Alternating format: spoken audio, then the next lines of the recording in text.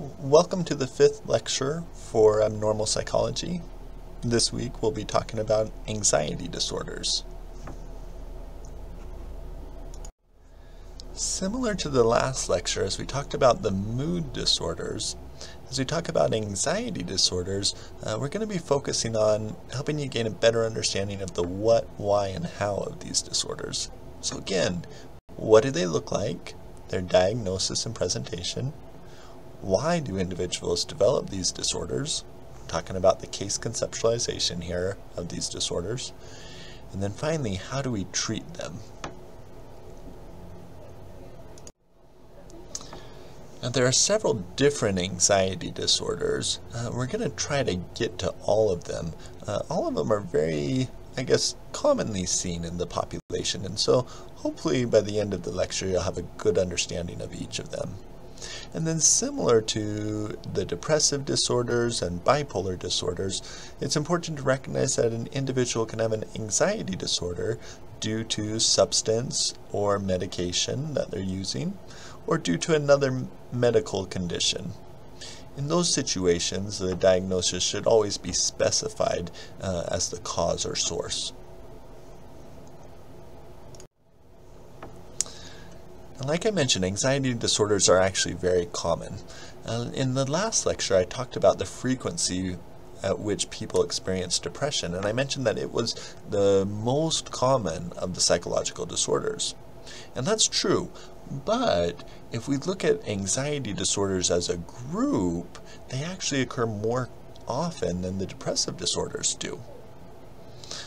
Uh, it's estimated that about 12% of the population uh, sometime in their life will experience either social phobia or a specific phobia at a level where it's impairing, um, where it's causing some type of functional problems. And then about 5 to 6% at some point in their life will experience generalized anxiety disorder, panic disorder, or separation anxiety disorder. Again, these are at levels where it's impairing, it's causing problems. A much smaller percent, only about a little higher than 1% of the population will experience agoraphobia. We'll talk about that this, in this lecture as well, though. And if you put these together, uh, you'll notice that the lifetime prevalence is almost 30% uh, of the population, sometime in their life, will experience one of these disorders at a level that, that is impairing. If you add up all the numbers of the individual disorders, you'll notice that that doesn't add up to 28.8%, and that's again due to comorbidity. Like we talked about with depression, some of these disorders overlap with each other. Uh, they're different disorders, but if an individual experiences uh, social phobia, they may also have panic attacks and may experience agoraphobia. So an individual can have more than one of these at a time. Now to give you a few other numbers concerning the anxiety disorders, these are more commonly present in females than males. About 30% uh, uh, within females and only about 20% of males will experience an anxiety disorder in their lifetime. It's anxiety disorders are also more common in non-Hispanic Caucasian Americans compared to other ethnic groups. And then with anxiety disorders, the average age of onset is, is relatively young, 11 years old. Now, some of the disorders, as we talk about them, you'll see are more focused on childhood, um, and the remaining ones you more often see in adulthood where they start to cause problems, but the first symptoms of them really start in that adolescent age range. All right, so let's jump into then the what of anxiety disorders. We'll begin with separation anxiety disorder. And this is perhaps the best place to begin because this is the one that typically shows up in childhood. When we're talking about separation anxiety disorder, what we're really talking about here is a fear, a worry, anxiety about losing an attachment figure. Now, most often that's the parents uh, that the child will be afraid of losing, but it could be grandparents or it could be an older sibling if that individual is the one who cares for the child. the child's main attachment figure. The child has to have at least three of the symptoms listed here. Uh, excessive worry about losing the attachment figure, excessive worry about some type of event that might cause the separation, uh, like maybe being kidnapped, or maybe there being an earthquake, or something that would uh, cause that separation. And then where we actually see the worry come out in behavior is a refusal to uh, leave that caregiver.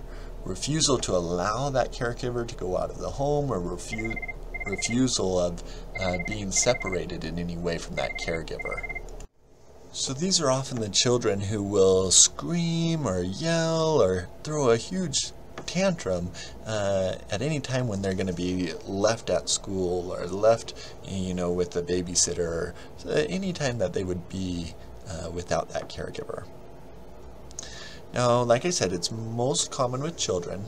Uh, with children, these types of behaviors have to be present for at least four weeks.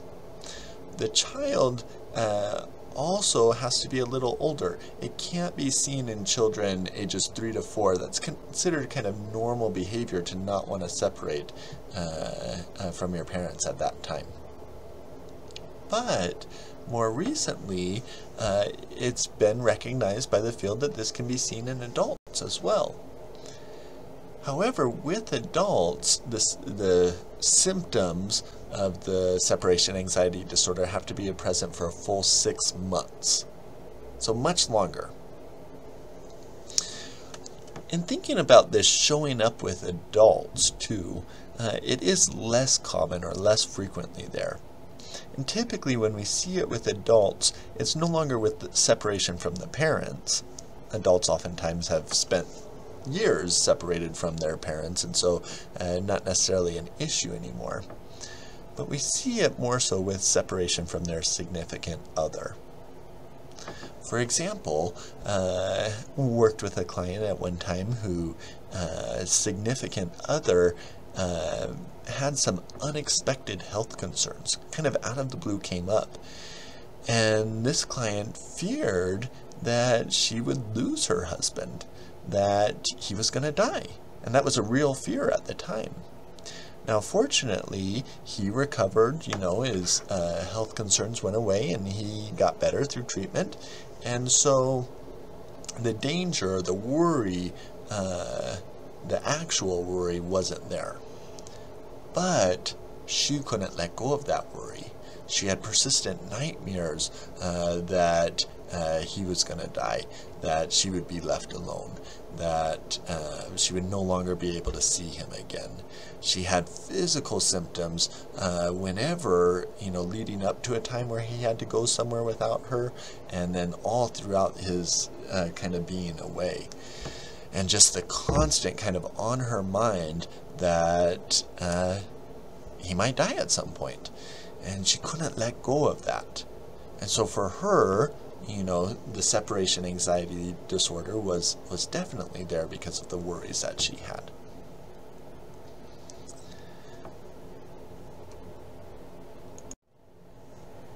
The next anxiety disorder that I want to talk about is specific phobia. This is when an individual has a marked fear about any specific object or situation we often hear about these ones. This might be a fear of uh, spiders, a fear of bees, a fear of elevators, fear of heights, uh, many different kind of options here, and, and it could be endless. Uh, the list could be endless. Uh, what might lead to a specific phobia? Now, it can't just be a regular fear many of you listening probably have some type of fear of spiders or snakes or bees or something like that. The key that makes it a specific phobia is when um, there's an immediate fear if the object or situation is, is around, that that object or situation is actively avoided, that the fear is out of proportion of the danger, But then here's the big one it has to cause significant distress and impairment. So even if you're afraid of bees, if it's not somehow uh, stopping you from going to school or stopping you from going to work or uh, breaking up your family relationships, uh, then it's not a real specific phobia. It has to be impairing in your life. So with this disorder, the, the fear and the impair impairment that goes along with it has to be present for at least six months. One of the interesting things about this fear is uh, most of the time uh, when somebody experiences the feared object, and this is true whether it's the disorder or any of us when we experience something that uh, scares us, uh, it usually speeds our body up our heart starts pounding faster, our breath gets shorter, uh, we, we get ready for the fight or flight. Uh, however, there's one specific phobia, or one class of specific phobias which are the blood injection fears. So this is fear of blood, if you see blood, or fear of needles, things like that. And that actually slows the body down. So your heart starts beating slower. And in essence, what happens with, with this, these types of fears, the uh, kind of uh, blood goes slower, things slow down so much that oftentimes that's when somebody passes out, they faint uh, because of this. Uh, now I, I, have on there a question, well, why? Uh, and it makes sense. You know, if, um, you know, you were uh, um, stabbed with a needle or, or something in a dangerous way, uh, your body would want to slow down. It wouldn't want to send that throughout your whole body, uh, whatever germs are with it or things like that. Uh, if you, you know, were cut, your body would want to slow the blood down so it doesn't all flow out as quickly. And so just an interesting aspect that within the specific phobias, there's actually two different reactions uh, that we can have to those feared objects. The next one, uh, and uh, most common of the anxiety disorders, is social anxiety disorder. This is when an individual has a marked fear about one or more social situations. Uh, and the fear is due to a belief about being criticized or judged negatively by others. It doesn't have to be verbal, or they uh, they don't worry that somebody's going to stand up and call them out and start to belittle them in front of everyone else, uh, but just a worry that everybody is thinking negative thoughts about them. And because of this worry with social anxiety disorder, the individual will start to act in a way that um, they avoid that anxiety provoking situation. They avoid social situations as much as possible if they do have to be present in a social situation, then um, there's extreme kind of anxiety with that and worry and rumination over it. Again, it has to last six months or more, and there has to be marked impairment with it. So it's not just your regular shyness, and it's not just individuals who prefer to be alone, uh, but it's individuals who um, really have trouble with social situations because they get anxious about them. With this, it's it's usually uh, gets better with familiarity, and so individuals with social anxiety won't have that same anxiety around family members and close relatives.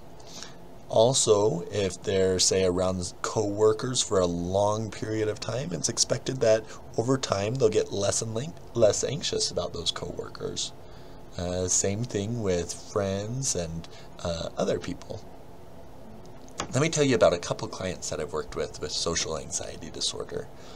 Uh, one of them was a, a Hispanic male who uh, when he was a child, he got teased and picked on a lot uh, by others at school.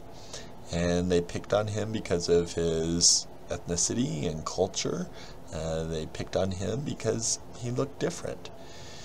And he internalized a lot of that. And so there was a lot of depression, I guess, feelings of low self worth, um, criticalness about himself But where the social anxiety disorder came in is he just always assumed that others were going to think negatively of him.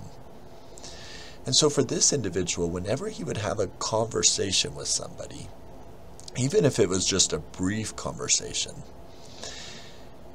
he would spend days playing over that conversation in his head and thinking about all the things that he said wrong and all the things that he should have said differently. Now, if it was possible, he would avoid to all extents any social situations. So there were a number of clubs that he wanted to join. He was in college at this point when I was working with him, uh, but he would avoid those. He wouldn't go. He had to go to school, but he would sign up for the classes where he thought the fewest people would be in attendance, or the classes he thought he could slip in and slip out without anybody noticing him. Sometimes he'd sign up for a class and he'd get to the room and realize, oh no, there's no way really that I can slip in and out of this room. So he'd drop the class and uh, just not take that one. When he knew that he did have a social interaction that he had to do, so, for example, he had to go talk to his instructor about an assignment, or he had to participate in a group project for a class. He would spend days preparing for it. He would plan out exactly what he would say in that conversation and plan out exactly how he would respond to all the different things that the instructor or his classmates might say to him. And he'd get it planned out perfectly in his head. However, no matter how much planning, when he got into the situation, his anxiety would start to take control. He'd turn bright red, feel like everybody noticed that, and end up just fumbling over his words, and then ruminate for days and days about how he messed that up. Interestingly for him, this fear also showed up in social media.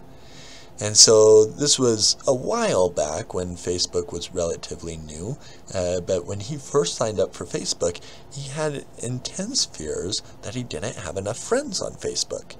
And everybody would look at his profile and see the few number of friends that he had and think that he was uh, a loser because he didn't have enough friends.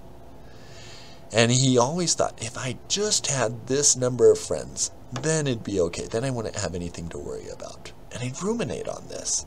Uh, and over time, he got more and more friends, but where the social anxiety played tricks on him is no matter how many friends he got, even if he passed his previous number that he had set, he would set a new number and say, well, uh, at the time I was meeting with him, it was up to a thousand. He had to have a thousand friends, or everybody was going to look at him as, as socially inept. So you can see how this anxiety just kind of and kind of was consistent with him. He couldn't let go of these worries about the social situations. A second client that I worked with, uh, she was had graduated from college and was in her uh, first job out of college and had been in it for about five years at the point that I started meeting with her. Now, she, because of her social anxiety, purposely took a, an IT job where she did computers. Because in that job, she didn't have to interact much with others. She could just focus on doing her computer work. It worried her every once in a while when she would have to talk to her boss. That was stressful for her. She thought she was being judged. But fortunately, she didn't have to talk to coworkers very often, and she didn't, of course, ever have to talk with any consumers or things like that. However, she was good at her job.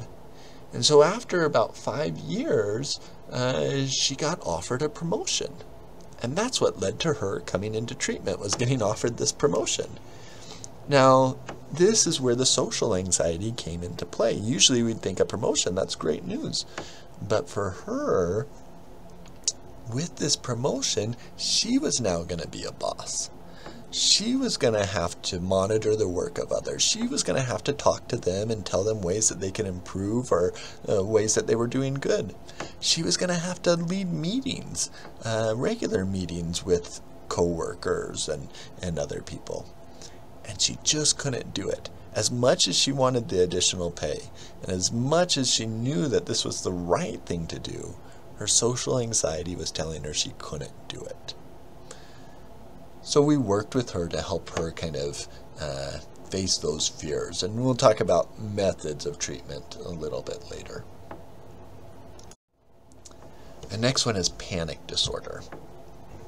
Panic disorder always starts with a, a panic attack. A panic attack is a sudden onset of intense physical symptoms. Uh, it can be pounding heart, sweating, trembling, shortness of breath, feelings of choking, chest pain, nausea, dizziness, all of these types of things. When an individual experiences a panic attack, there's this fear uh, because it kind of comes out of the blue this fear that they're going to die that they're losing control things are you know they're going crazy um, and oftentimes uh, when an individual experiences their first panic attack uh, they may think that they're having a heart attack or something like that is happening to them now panic attacks by themselves are common the majority of the population will have a panic attack at some point in their life. A panic attack alone is not panic disorder. A panic disorder is when the individual has a, a negative response to that panic attack. And they start to fear that another panic attack is going to happen. So, with this fear, they start to avoid situations associated with that initial panic attack. They avoid places maybe that are related to where they had a panic attack. They avoid anything also that would key their body up in a way that was similar to the panic attack too. And it's that avoidance that causes the impairment for these individuals. Now, the sad thing about this disorder is the avoidance and the fear about having another panic attack for these individuals actually creates more and more panic attacks. So, what happens is the individual's body remembers what that first panic attack was like they remember kind of that experience of uh, chest pain or nausea or shortness of breath or whatever, and they remember uh, what it felt like to be out of control, to feel like they were going to die. And so next time their body starts to have, uh, st- their heart starts to beat a little bit faster, their mind automatically goes, oh no, here's another panic attack. And because they have that worry, here's another panic attack, it spirals and their heart starts beating even faster until eventually the panic attack does happen. And to them, it comes out of the blue. They don't realize that, oh, they were tying it with their heart beating a little bit faster and then it blew out of proportion, but it, it comes out of the blue. Uh, and so they start to have more and more things that they're afraid are going to lead to more and more panic attacks and more and more fear that things are out of control. These uh, um, panic attacks can lead up to happening very often. I've worked with some clients who uh, are have, having three or four panic attacks in a single day. For other clients, though, they still have the disorder, but uh, they may only have a panic attack a week or a little bit uh, less often, sometimes even than that. Uh, but there's the fear, the consistent fear that uh, these panic attacks are going to happen over and over again, and really in inopportune times. I've worked with a client, uh, a college student once with panic disorder. I've worked with several with panic disorder, but one college student in particular stands out he was coming home from school and took a airplane flight to get home uh, over the summer break. And unfortunately, uh, while on the airplane, he had his first panic attack. Uh, it might have been tied to flying. Uh, he had some fears about flying, but uh, to him it seemed like it was coming out of the blue. Well, when he got home, he was so worried that he was going to have another panic attack, so worried that he'd have another one while flying on the airplane to get back to school, that he couldn't go back to school. He ended up missing the next semester uh, because he couldn't get on that airplane.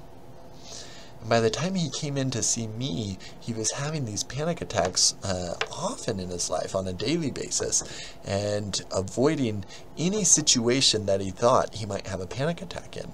So he didn't want to get a job because he wor- was worried that while at work he'd have a panic attack.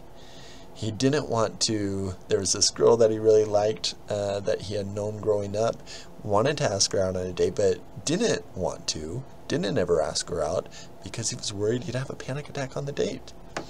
Pretty much by the time I started seeing him, he was only leaving his house to come to the therapy appointments because he was worried he'd have a panic attack uh, in a public place and that would be really embarrassing and he wouldn't be able to get help for it.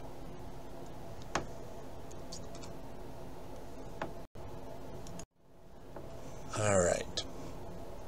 Another one of the anxiety disorders, and uh, kind of really ties into that last case that I was just telling you about, was agoraphobia. Previously, it was thought that agoraphobia could only occur if an individual also has panic disorder. You couldn't get a diagnosis of agoraphobia without that panic disorder diagnosis first. And that's because individuals with the panic disorder, they typically start to have fewer and fewer places that they're willing to go until eventually they're just staying in their home because they're afraid that they're going to have a panic attack in public. However, we now recognize that agoraphobia can uh, can occur on its own outside of panic disorder, or can co-occur with other anxiety disorders. But mainly what agoraphobia is, is a fear or anxiety about public places, being out in public. And it's not a fear that you're going to be judged. Uh, you may have some of that, that social anxiety may happen, uh, but really it's just anything for being out in public. So like I mentioned, maybe a fear that you'll have panic attacks out in public. With agoraphobia, the unique part to it is it's not just the fear of those public situations, but the avoiding of those public situations. And so individuals with this disorder oftentimes uh, will start to limit their what where they're willing to go, and over time, eventually not even want to leave their home. These experiences have to be present for at least six months or more uh, and it has to cause that impairment. So I mentioned that that individual with panic attacks, he definitely had agoraphobia as well, only leaving the home to get to his therapy sessions. Another individual that I worked with, uh, she was in her uh, late 60s, uh, had lived her whole life without any type of uh, anxiety disorder. However, one day she was sitting on her porch and she lived in kind of a dangerous neighborhood. And there was a drive by shooting while she was there. And one of the bullets hit her house uh, close to where she was sitting. And that appropriately freaked her out. However, what happened next was uh, she started to believe that nowhere was safe for her. And she couldn't leave her home anymore. At first, it started to be she couldn't go to the grocery store. And then she stopped going to the bank and other places like that. But the more somebody avoids those public situations, the more kind of their uh, their thoughts are able to take control and say, "It's a good thing you avoided it because it was dangerous." Until eventually, she wouldn't leave her home as well. Fortunately, her family members were able to get her and accompany her to the therapy sessions, and we were able to effectively treat uh, this disorder for her. Um, but without that prodding from her family members, she would have just lived her life only inside her home.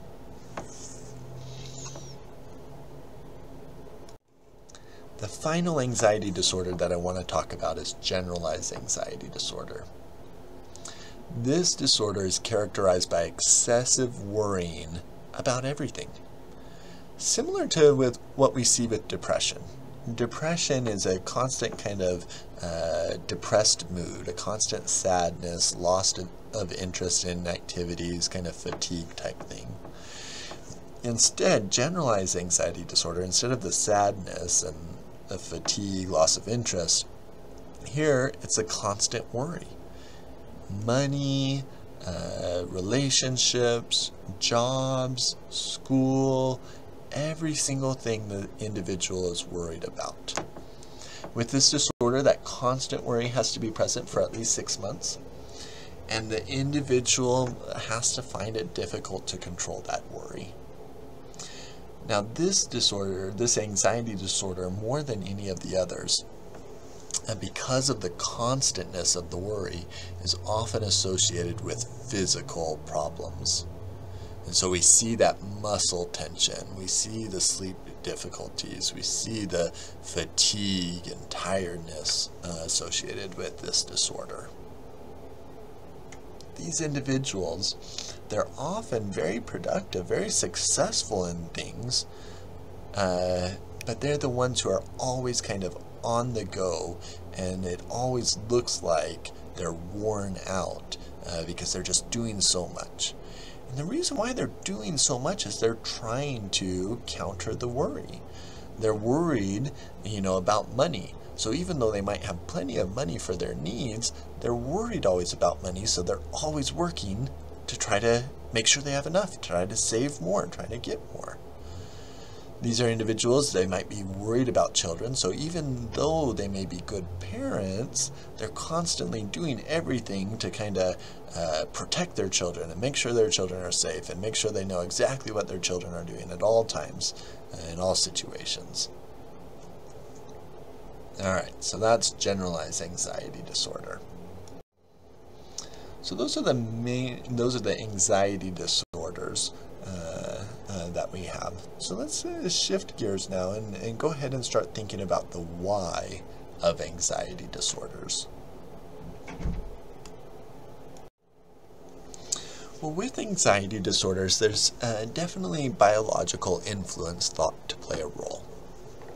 First of all, it's important to recognize that anxiety, uh, our physical response to anxiety, is our fight or flight response. That's the adaptive purpose of anxiety. Our body's actually supposed to do the things that it does when it gets anxious. That's not the problem. Uh, our body's getting anxious, and appropriately, it's getting keyed up, ready to either fight the danger or flee from it.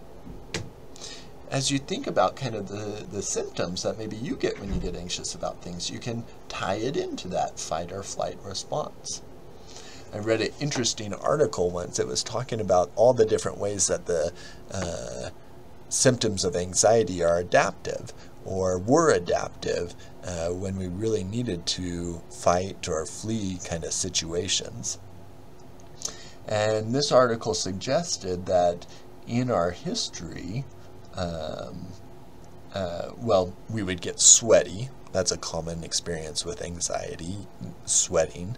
Uh, and this article suggested that in our history, when we had to flee from predators, a tiger or bear or whatever it might be, uh, we would get sweaty, so we would be more slippery. So if that tiger or bear grabbed hold of us, we could uh, slip away, be sweaty and slip away and run away from that tiger or bear. I thought it was interesting, kind of a humorous look on it. Uh, I think sweatiness is more so to regulate the temperature of our body as our heart starts beating fa faster and things like that. Uh, but an interesting view. Genetics also plays a role with uh, biological influences on anxiety.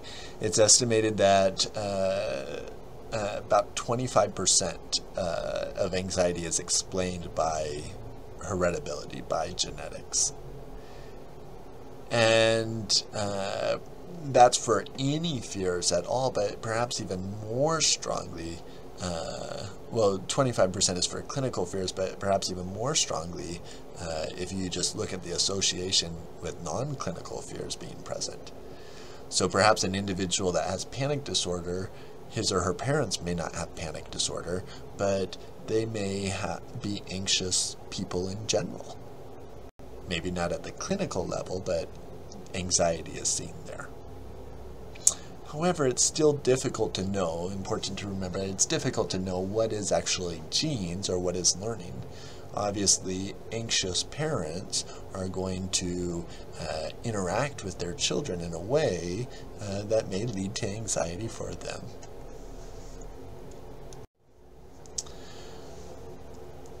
There's a strong behavioral component to the development of anxiety as well.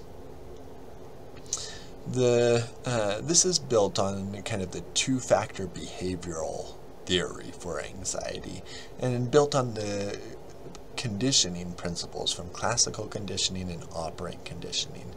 And if you're less familiar with classical conditioning and operant conditioning, I'd recommend that you click on that link that I have on this slide and check out a video. Uh, that video uh, nicely kind of explains the difference between the two and gives kind of a, a simple explanation for how they tie into anxiety. What we see here is uh, classical conditioning really uh, explains the de initial development of anxiety. An individual has a negative experience and they tie that negative experience to uh, things in the environment. Whether it's a specific object or set of objects, they now experience that as negative, and their body gets anxious when they're around that new stimuli. And that works through classical conditioning principles. And operant conditioning comes into play for maintaining the anxiety. So the individual then, when they face the feared situation and their body starts to get keyed up, they'll do things like escape it or distract themselves from it, or if they can, avoid it. Now, as soon as they do one of those things, their anxiety automatically drops down. They're no longer around the spider or dog or whatever it is that they fear, so they no longer are anxious problem with that though is they the dropping the removal of the anxiety ends up reinforcing that escape avoidance and distraction behavior. And the thing gets feared more and more uh, the more an individual does those things. It's important to recognize too that with the classical conditioning component uh, it doesn't always have to be a personal uh, experience, personal negative experience with the feared thing, but it can be um, modeled by others. You may see somebody else have a negative experience with that thing, or you may read about how that thing is dangerous, uh, and that can start, uh, give start to the anxiety itself.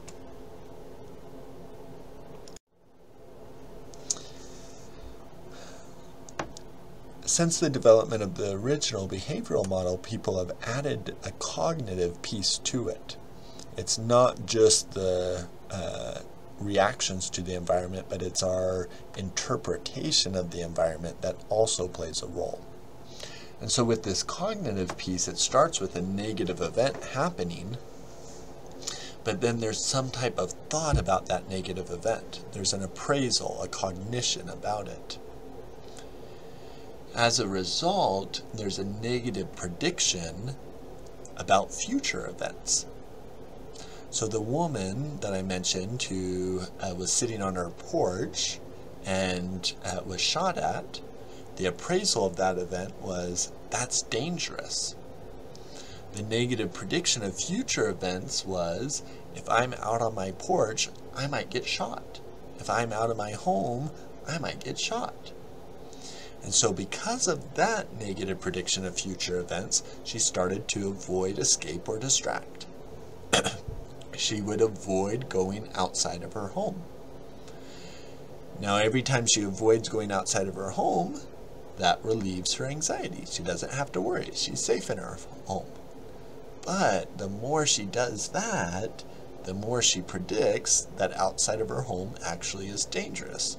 And the more she predicts that, the more avoidance she does, and the more uh, relief she gets from the anxiety. But it's this negative kind of spiral where the anxiety actually over time gets worse. So the avoidance and escape escaping and distracting is a short-term relief from anxiety, but a long-term uh, kind of cost, a long-term perpetuating the anxiety that's experienced. Building on this cognitive behavioral theory, uh, like I mentioned, it's important to recognize what are the thoughts. Just like in depression, there are some common thoughts. In anxiety, there are some common kind of maladaptive thoughts that are seen. First is an overgeneralization. For example, everyone is going to notice that I am nervous. Uh, with that, it's a prediction that overestimates the actual likelihood of an event. So an overgeneralization. The second common type is catastrophizing. Catastrophizing is making a huge thing out of something kind of small. So an example of this, if people notice that I'm nervous, then they will think I'm not competent and I will never make friends, get a job, find a significant other, etc. So blowing up that people are going to notice that I'm flush, that I'm nervous, to I'm never going to have any type of relationships with anybody. And then the final category are maladaptive thoughts. Maladaptive thoughts are true or accurate thoughts, but they don't help the person in any way. They just cause anxiety. So when somebody gets nervous, if they think, my hands are sweating, well, that may be accurate. Maybe their hands are sweating, but that thought doesn't serve any purpose. It doesn't help the individual. A couple other theories associated with the anxiety disorders. There is a psychodynamic theory, um, a psychodynamic view of anxiety. The psychodynamic approach uh, believes that anxiety comes from a conflict of feelings and desires uh, that come up at each stage of development. And sometimes the individual gets stuck on one of those conflicts or one of those stages.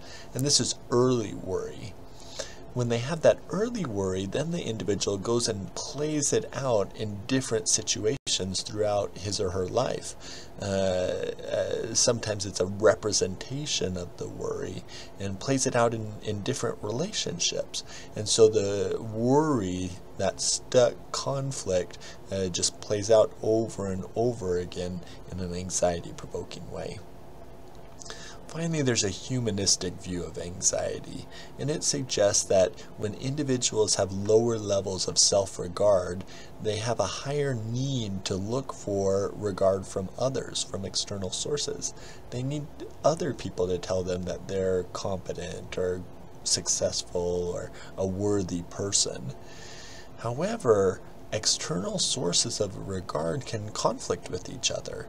Uh, for example, what a, a parental figure says uh, makes you a worthy person might be different from what a peer says makes you a worthy person, or what an employer says.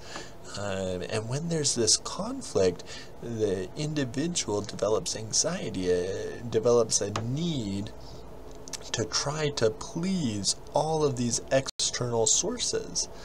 But that's impossible. So the individual is kind of in this constant kind of worry state about uh, pleasing others when there's no real way to please everyone at once.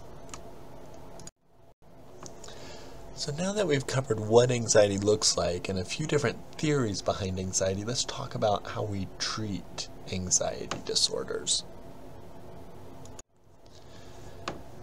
One type of treatment are medications. For anxiety disorders, the medications are typically tranquilizers or benzodiazepines. Examples of this might be Xanax or Valium. Uh, these anxiety medications are fast acting to br bring relief to the anxiety right away. So they, in a way, kind of numb the anxiety an individual can often take them kind of uh, immediately when they start to experience anxiety or when they uh, believe that uh, anxiety provoking situation might happen in the future.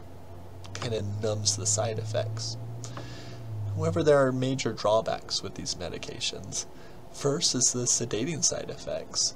Uh, that numbing has uh, kind of a numbing overall uh, feeling associated with it. Second, they can often uh, become dangerous when they're taken with any other type of depressant, uh, like alcohol, or if they're taken with painkillers or sleeping pills. With this too, anxiety medications are uh, easy to become dependent on and very difficult to get off of them when an individual is used to taking them in order to face kind of those anxiety provoking situations. And then last, these anxiety medications really go against the goals of psychotherapy. We'll talk about this more in a couple slides, but uh, like I mentioned, uh, with the spiral of how anxiety works, uh, the individual often takes steps in their environment, and medication might be one of these, to give a short term fix to the anxiety. And the anxiety goes away immediately, but whenever you do a short term fix, it comes at that long term cost and it keeps the anxiety around uh, for the long run. Also, with anxiety, people are often um, prescribed an antidepressant. These antidepressants are uh, safer than the benzodiazepines or tranquilizers. They're less addictive, uh, harder for people to become dependent on. The drawback of them, though, is they take much longer for relief. So it's not, oh no, I'm going to go do this anxiety provoking thing, let me take my medication, but somebody has to regularly take the antidepressant in order for it to have an effect. So let's start talking about the psychotherapy approaches now. The first is a behavioral approach. You'll notice in that figure that I have on this slide, the red kind of line is what I was talking about earlier uh, with our often typical approach to anxiety. The anxiety starts to go up, so we avoid, escape, or distract, and the anxiety immediately drops down. But next time we're in that situation, the anxiety goes up again, and this time it goes up a little quicker and a little higher. We do the avoiding, escaping, or distracting, and it drops down again. And you notice that the same pattern happens over and over until the uh, anxiety just keeps going on up. So, for a behavioral approach, we try to get individuals to do the opposite, to instead ride out the anxiety, allow the anxiety to be there. And as they do that over time, they see that, hey, this isn't so bad. Or they see that I can do this. I can conquer the anxiety. And over time, that thing that previously was scary isn't so scary anymore. This is often this is something that we call exposure treatment. This can be done in a hierarchy where you uh, identify kind of a low anxiety trigger, uh, and then you work your way up to harder and harder situations. So, for example, that client that uh, had a hard time leaving her house, well, we started off just standing by the front door. Still inside the house, but standing by the front door, kind of looking out. And then standing in the doorway. And then standing on her porch again. And then going out, kind of bigger trips to the grocery store, or farther and farther away from her home.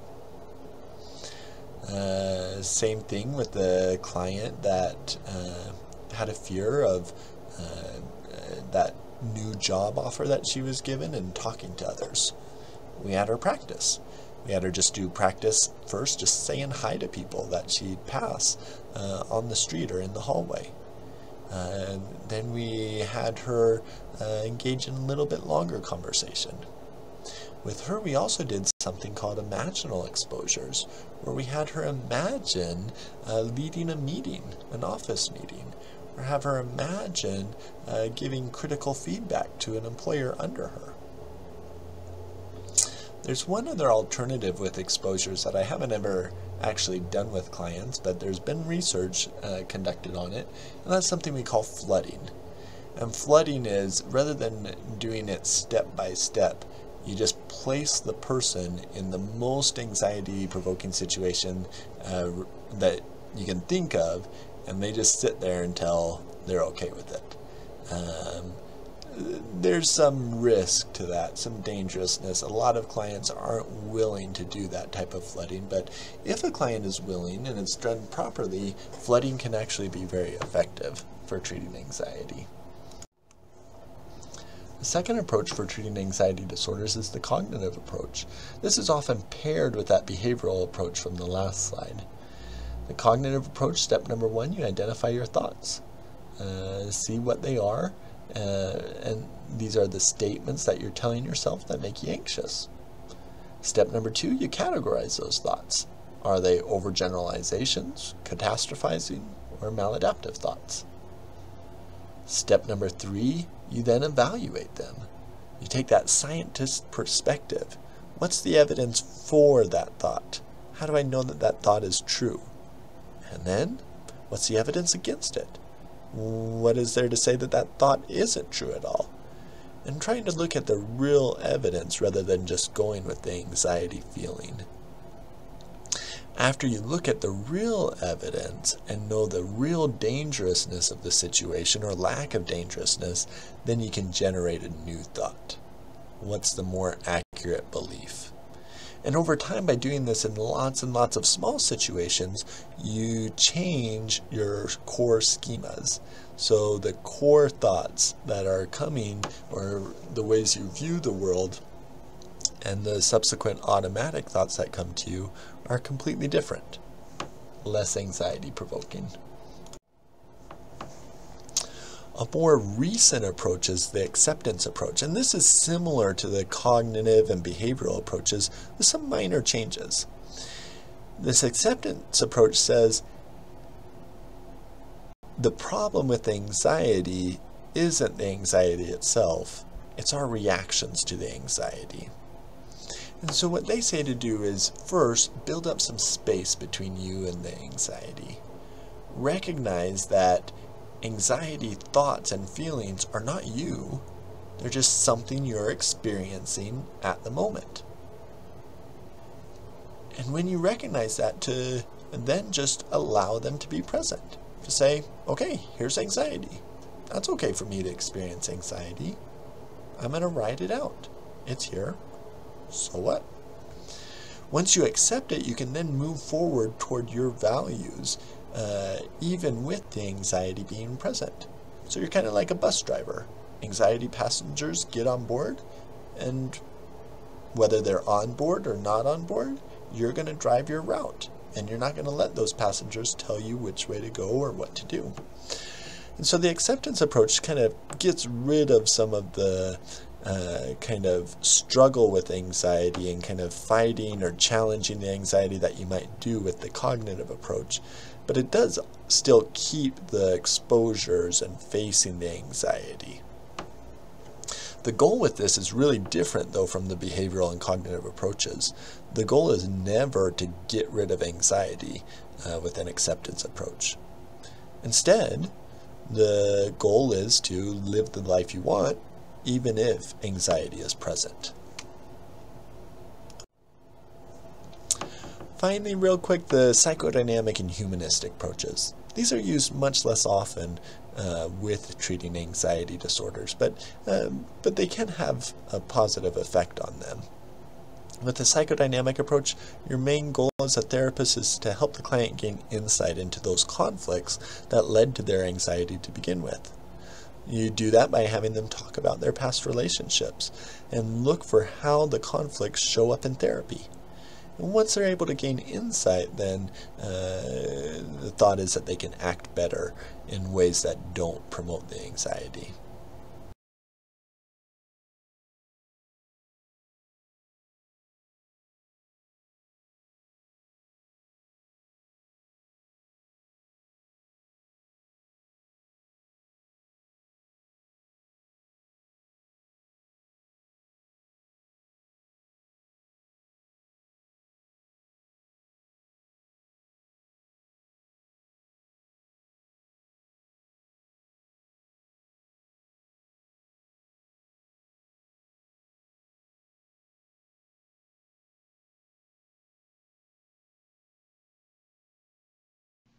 Okay, time for the code word.